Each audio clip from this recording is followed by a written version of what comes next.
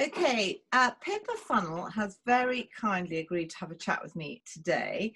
Um, Pippa's eventing career has obviously been amazing, winning badminton and becoming European champion twice, plus winning numerous Olympic medals, and also the first rider to win the Rolex Grand Slam. Um, Pippa, thank you so much for chatting today. Um, how are you? I'm good. I'm good. I'm sorry. Well, it's a little bit late in the day. Uh, my day during during the day is absolutely full on. Um, but no, thank you for asking me to have a chat. No, not at all. Thank you, because I know you're very, very busy, particularly at this time of year. Um, so, Pippa, having sadly lost badminton for second year running, and now the likes of other major internationals um, have gone as well. What's the season season looking like for you? Um, do you have a nice team of horses? Um, I mean, yes, it's incredibly frustrating because over the last however many years I've been building up uh, what I think is a very exciting string again. Um, obviously, one of them being MGH Grafton Street, who it seems bizarre won won Burghley as an 11 year old, and I thought, gosh, you know, a young horse at that level to be to be winning at that level, and how exciting! And it's unbelievable to be thinking that if badminton hopefully will run next year, he's not going to be 14 until he does his first badminton which is unbelievable to think that actually, even though we say we just missed two years, it's actually three by the time it comes round again. Yeah. Um, so gutted about Badminton. I think we all are absolutely gutted, and along with him, I have yeah, I have three other really nice horses at that top level and a couple just below. So even though my string isn't particularly large, I've just got sort of seven, eight eventing, six of which are sort of right up the top end of the sport, and, and all, I think, horses with a lot of ability. So, very frustrating, yeah. very frustrating. Um, and uh, Pippa, is Tokyo in your sights if it goes ahead? Obviously, I mean, um, I, um, I mean, I'm definitely um, preparing and planning to hopefully go to a championship. Yes, whether it be Tokyo, I think more realistically, hopefully the European Championships. As I said, I've got three horses that to me are well capable of going to a championships. I think um, re Tokyo, probably I'm just outside uh, the the four. I mean, obviously the horses. Um, it's all every run we have is important because they're not having a main selection like at badminton or at a top sort of five star event. So they're selecting on current form at, at more at the four star short, which obviously is different from from from usual from normal. Um, I think that in this country we've got a really exciting squad. I think there's some really, really good combinations. I would put my neck on the line and name sort of Tom McEwen on Toledo de Kerser, which is is a yeah. very, very good combination.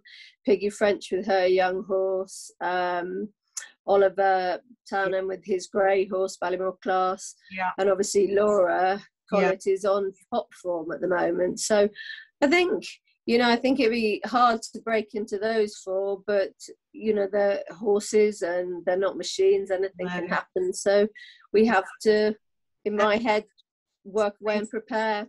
Yeah. Prepare. Very exciting.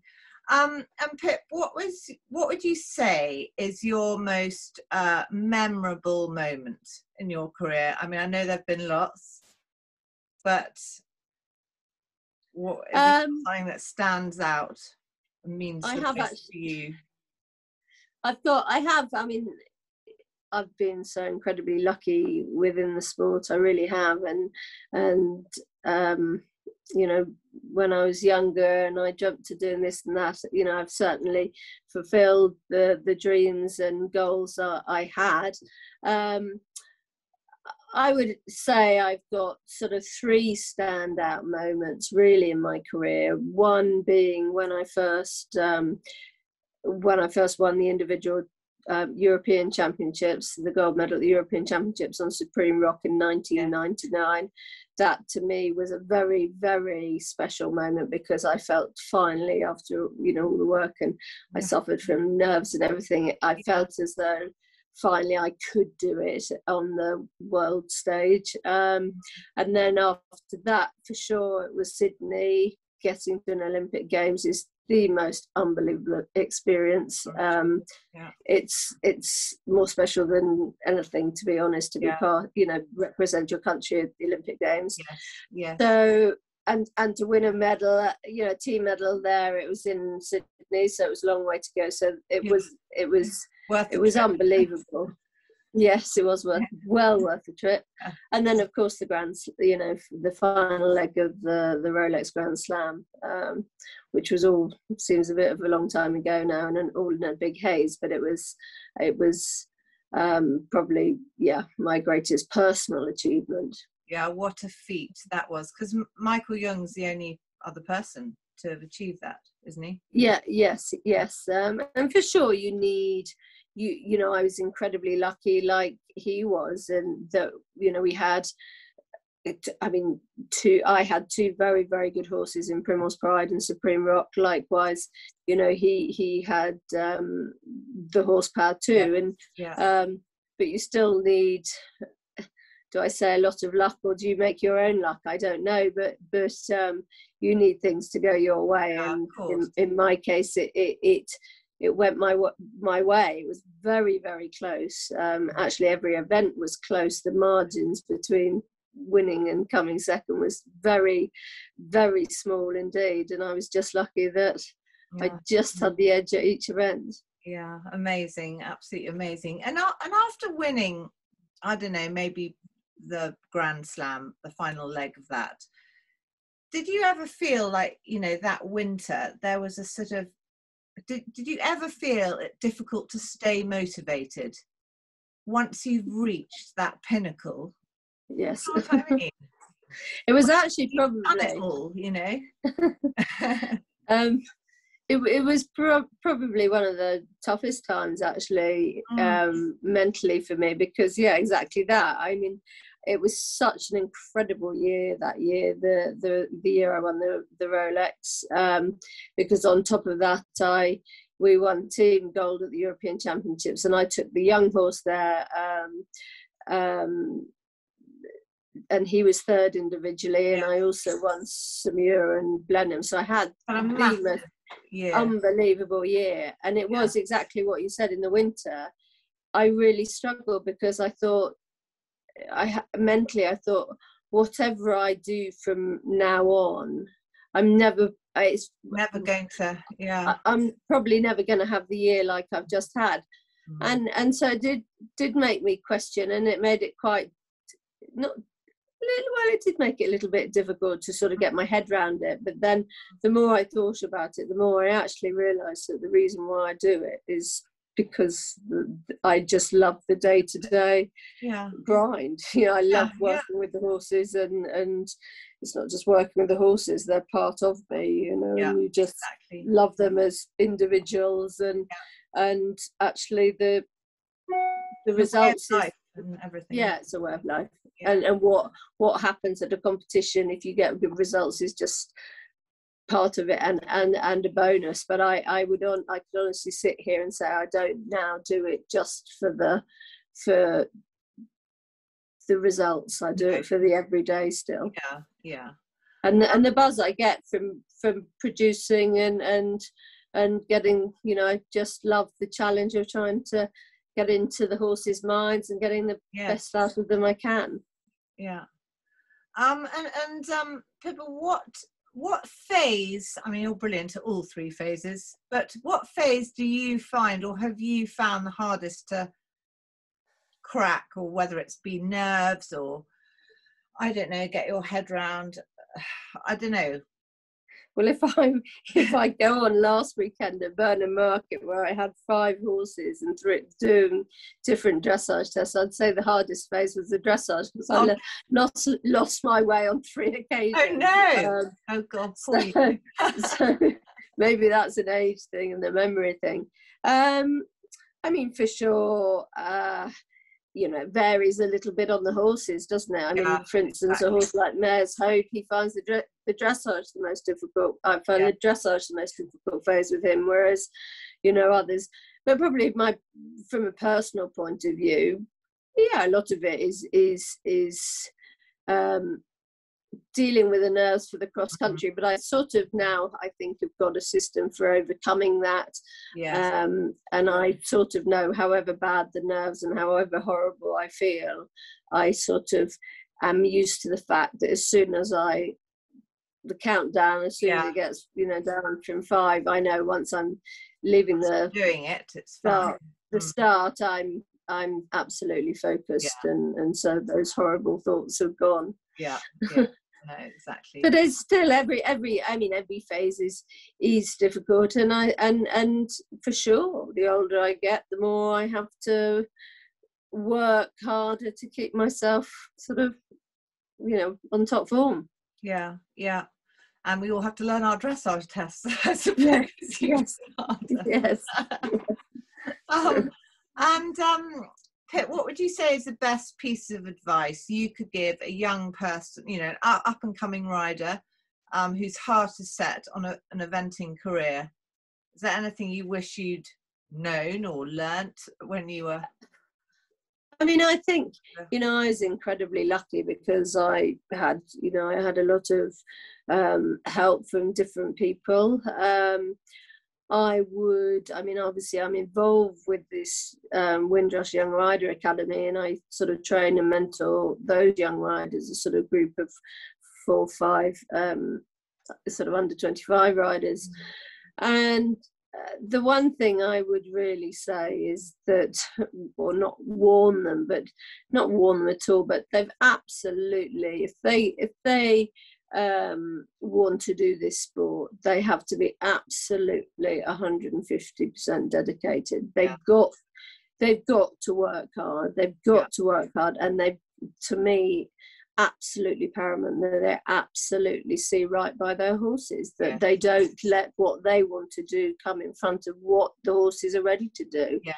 Um, so I think sometimes that's that you know when you're young you can get hungry and yeah you know you and impatient yes. and i think it's important that that um it's trying to develop the horsemanship yeah. skills and learn more than anything learn from mistakes that are made or you learn from experiences and and that's what i often say to them if you know people are down they've had a bad day mm. you have to try and get them to put things into perspective and yes. and realize actually in the larger because it's, it's it's a tough sport it's a tough sport emotionally it's a tough tough sport on you mentally and physically um, yeah. we get very emotionally involved with the horses and, and obviously it's a dangerous sport and and yeah. i think um, i think it's important for the young riders to realize that it's it, it is a tough sport um, mentally and that that and that's one thing that i'm doing the academy is to make them realize actually you know it's important to talk and and mm. chat and get advice. It's important to watch top riders. It's important yeah. to ride at watch riders at all levels so you can learn from that and yeah yeah. sorry it's a bit more than a one word answer isn't it? but really the, the biggest the, the, the biggest thing definitely is that to me, you know, unless they're prepared to put the work in, then yeah. they're going to struggle. Yes, no, absolutely. Um, and um, Pip, apart from riding it every day, although actually you're probably riding from dawn till dusk, do you? Are there any other forms of physical or mental activity you sort of do that I don't know alongside that help that help you yeah, I mean, well, more. I mean, yes. I mean, I do a lot of sort of Pilates and yeah. and stretching. Um, I, if I'm honest, I've been a bit naughty recently. I was I was actually running a lot in the winter, but running isn't great for my knees. But I did actually thought I must do more. Mm. And then I got a bit despondent when badminton was cancelled. I sort of stopped stopped the running. And actually, more recently, I've been very busy riding and that I almost think if I run as well it's nearly going to be too much. Too um, I I do do a you know some circuit training um, yeah. sort of stretch, various stretching and squat and knees, you know, up Mm. downs and all sorts Yeah, of things. yeah. So I do do quite a lot to work, and I think it's it's one thing that I know.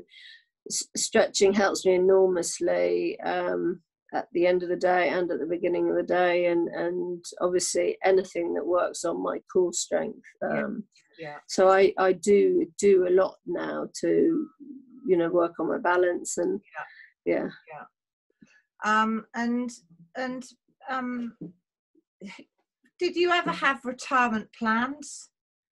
Or Uh, no, they, no, no. Um, but I I your win at Burghley, if there were any, surely you're I for sure I things uh, further to keep going, hasn't it? Um, I mean, for sure, I've had times in my career when I thought, why, you know, it's a tough sport. Why do I keep putting myself through some of the, you know, and, and most most of the times, if I've thought along the lines of retirement, it's because, been because I've, of my age and been because I've had falls and I've been in pain, you know, and Yeah. and and, and I Yeah. think the one thing nearly that's made me um, and I kept on nearly beating myself up, thinking I'm t- too old to event, too old to event. You know, why do I keep doing it?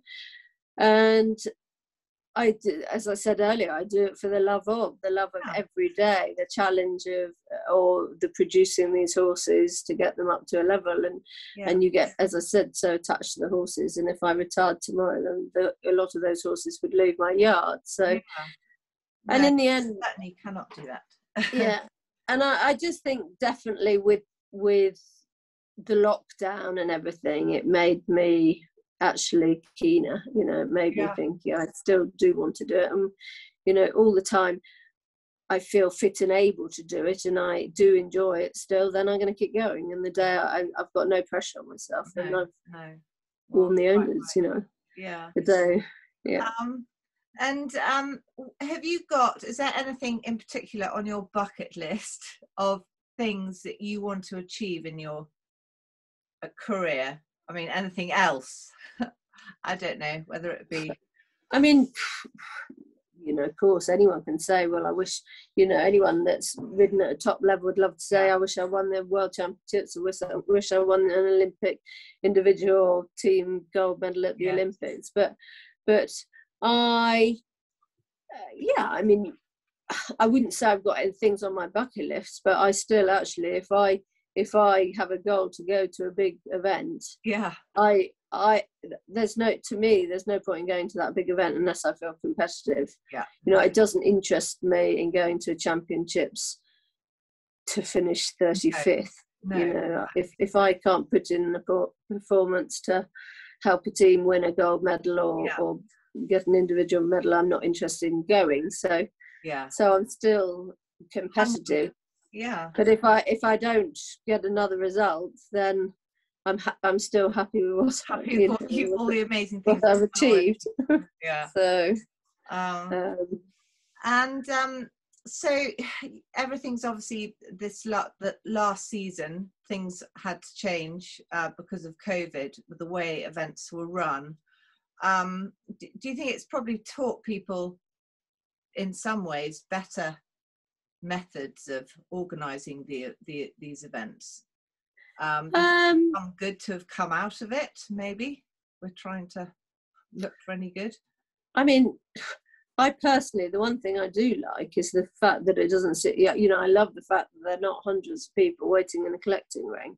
That I really yeah. like for the show jumping and cross country because to me it got ridiculous in the end with the show jumping when you had, you know, oh, they yeah. give you times, but end, people end up putting their numbers down, and then you Yeah. get there for your time, and you And you 30 find that thirty people put their number down. Yeah. So that has always driven me potty because I've always been one to try and absolutely stick to my times. Mm, So mm. I think that's been a good thing. Um, you think they'll leave it like that?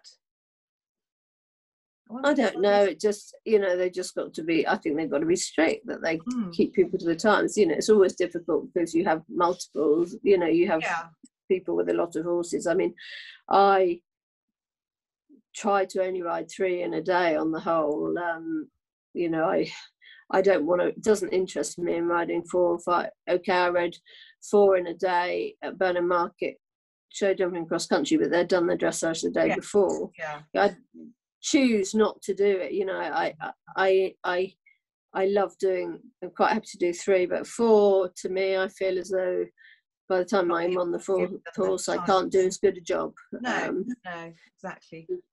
And yeah, so, but I think, you know, what's come out of COVID, I mean, you know, I think you still miss, don't you?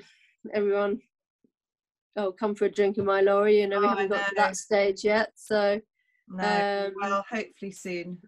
Hopefully. But it's still great to see see everyone. It's great to be out and competing again. Yeah, no, I'm sure.